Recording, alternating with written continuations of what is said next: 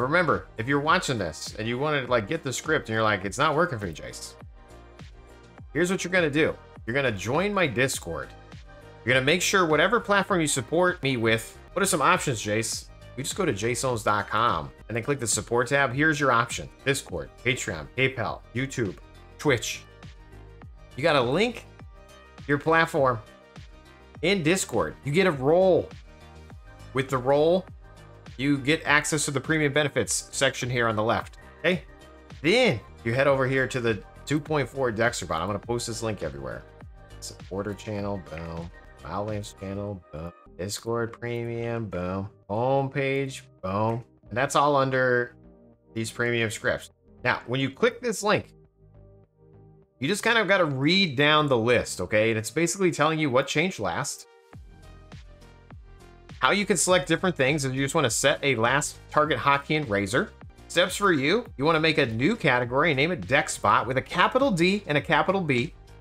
And then under DexBot, you're going to name a script called base. That's the most important thing. You need a DexBot folder and then base with lowercase. Your init file can be anything, and your init is going to be your hotkey. Okay? You can make as many inits as you'd like. You can set as many or as little values as you like, and the base will fill in any gaps that you missed. So you can customize literally almost everything, but if you don't hit, if you don't change anything, that should be totally fine too.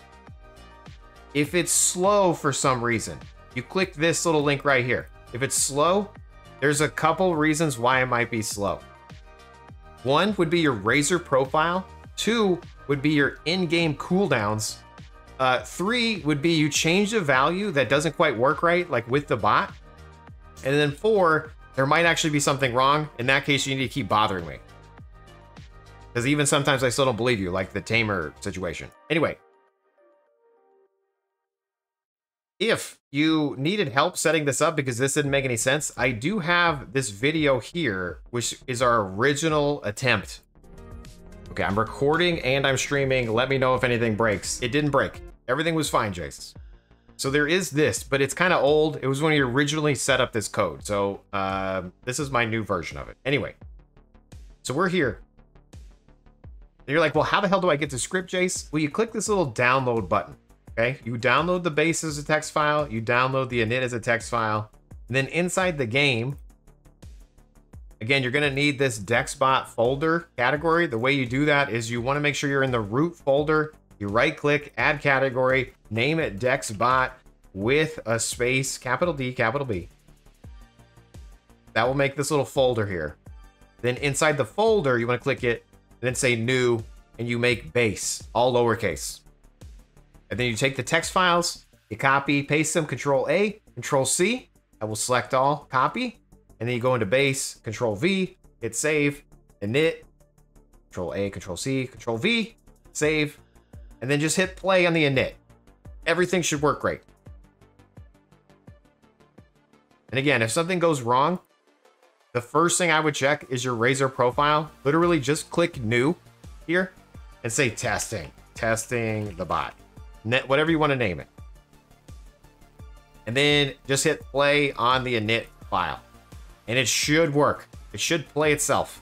If it still doesn't work, that's where in the game, you might have some cooldowns or variables that are messed up. So, although cooldowns is another option, the quickest way to test all this stuff is just make a new character on Test Center. New Razor profile, new character, just hitting play on the script should work. And again, if it doesn't, it's related to your Razor profile, your character, cooldowns, or something's broken. Anyway, this is going to be Wednesday's video. Thanks for tuning in. Thanks for liking, following, and subscribing.